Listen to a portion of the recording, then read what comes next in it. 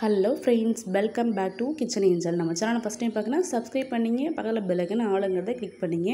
கார்த்திகை தீப பெசல் பொரி உருண்டை எப்படி செய்யலாம் தான் பார்க்க போகிறோம் ஒரு இரநூறு கிராம் அளவு பொரி எடுத்துருக்கேன். இந்த பொரியை கொஞ்சமாக தவால நல்லா ஹீட் பண்ணி எடுத்துக்கலாம் பார்த்தீங்கன்னா. பத்து வந்து இருபது நிமிஷம் வரைக்கும் நம்ம ஹீட் பண்ணி எடுத்துக்கலாம். பொரி நல்லா சூடு வந்துடுச்சு. இதை ஒரு பாத்திரத்துக்கு மாற்றிக்கலாம் பார்த்தீங்கன்னா. இப்போ அதே பேனில் ஒரு கப்பளவு வெள்ளம் எடுத்துக்கலாம். வெள்ளம் இரநூத்தம்பது கிராம் அளவு வெள்ளம் எடுத்திருக்கேன். வெள்ளத்துக்கு கொஞ்சம் கூட தண்ணி சேர்க்கவே கூடாது. ஒரு ஸ்பூன் அளவு தான் தண்ணி சேர்க்கணும். கொஞ்சமாக இந்த அளவு தான் தண்ணி சேர்க்கணும். தண்ணி சேர்த்து வெள்ளம் நல்லா கரையணும் பார்த்தீங்கன்னா. வெள்ளம் நல்லா கரைஞ்சி பபிள்ஸ் பபிள்ஸாக வரணும் பார்த்தீங்கன்னா. தண்ணி அதிகமாக சேர்த்துட்டோம்னா பொரி சவுத்து போன மாதிரி போயிடும். அதனால் தண்ணி கொஞ்சம் கூட சேர்க்கவே கூடவே கூடாது.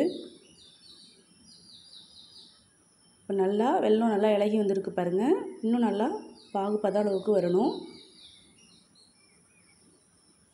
வெள்ளம் நல்லா கரைஞ்சி பபிள்ஸ் பபிள்ஸாக பாகு வரணும். அடுப்பை மீடியம் ஃப்ளேமில் வச்சு நம்ம கைவிடாமல் வெள்ளத்தை நல்லா கடை விட்டுக்கலாம் பார்த்திங்கன்னா. கொஞ்சமாக ஏலக்காய் தட்டிட்டு சேர்த்துக்கலாம். ஒரு ஸ்பூன் அளவு நெய் சேர்த்துக்கலாம். மாதத்துக்காக நான் நெய் சேர்த்துருக்கேன். இப்போ நல்லா வெள்ளம் கரைஞ்சி நல்லா பாகு பதத்துக்கு வந்துட்டு பாருங்கள் இப்போ நம்ம இந்த மாதிரி பபிள்ஸ் பபிள்ஸாக வந்தோடனே நம்ம இந்த பாகு பதத்தை செக் பண்ணி பார்த்துக்கணும்.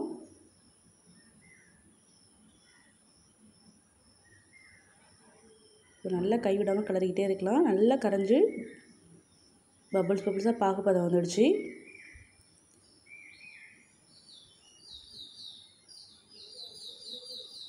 இப்போ நம்ம பாகுபதத்தை செக் பண்ணிக்கிறோம் பார்த்தீங்கன்னா. பாருங்கள் இதுமாரி நல்லா பபுள்ஸ் பபுள்ஸாக வரணும் பார்த்தீங்கன்னா.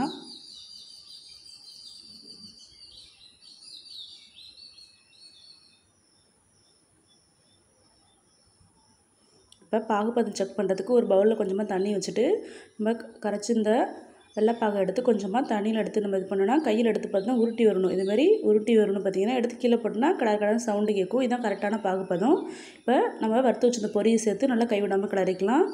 பொரி ஃபுல்லாக ஃபுல்லாக நல்லா வெள்ளை மிக்ஸ் ஆகிற அளவுக்கு நம்ம மிக்ஸ் பண்ணிக்கணும் பார்த்தீங்கன்னா. அடுப்பை அப்போ ஆஃப் பண்ணிடலாம். ஆஃப் பண்ணிவிட்டு நம்ம பொரியை ஒன்றா நல்லா மிக்ஸ் பண்ணிக்கணும். இந்த வெள்ளைப்பாகு சூடோடு இருக்கும் போதே நம்ம பொரியை நல்லா கலரி விட்டுக்கணும். நல்லா கிளறி விட்டாச்சு பார்த்தீங்கன்னா.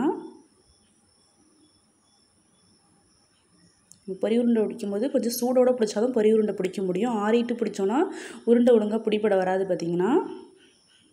இப்போ ஒன்றா நல்லா மிக்ஸ் பண்ணிக்கலாம். இப்போ நம்ம உருண்டை பிடிச்சிடலாம் பார்த்தீங்கன்னா. கையால் எடுத்து நம்ம உருண்டை பிடிச்சோம்னா நம்ம சூடோடு பிடிக்கும்போது கை ரொம்ப சூடாக இருக்கும். ஒன்று கையில் ஆயில் இல்லது நெய் தடவிட்டு பிடிச்சோன்னா கொஞ்சம் பிடிக்கிறதுக்கு ரொம்ப ஈஸியாக இருக்கும் பார்த்தீங்கன்னா நம்ம சூடாக இருக்கும் போதே பிடிச்சிடணும் ஆறுனதுக்கப்புறம் பிடிச்சோன்னா அப்படியே நம்ம உட உருட்டினாலும் பொடி கொஞ்சம் கூட உருட்டுறதுக்கு வரவே வராது.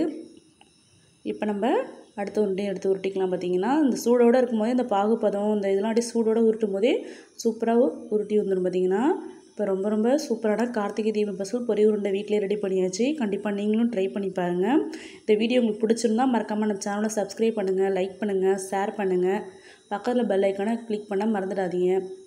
இப்போ சேனலுக்கு எப்பொழுதுமே சப்போர்ட் பண்ணுங்கள் இப்போ பொறி உருண்டை ரெடி ஆகிடுச்சு இது ஒரு பிளேட்டுக்கு மாற்றிக்கலாம் அனைவருக்கும் இனிய கார்த்திகை தீப திருநாள் நல்வாழ்த்துக்கள்.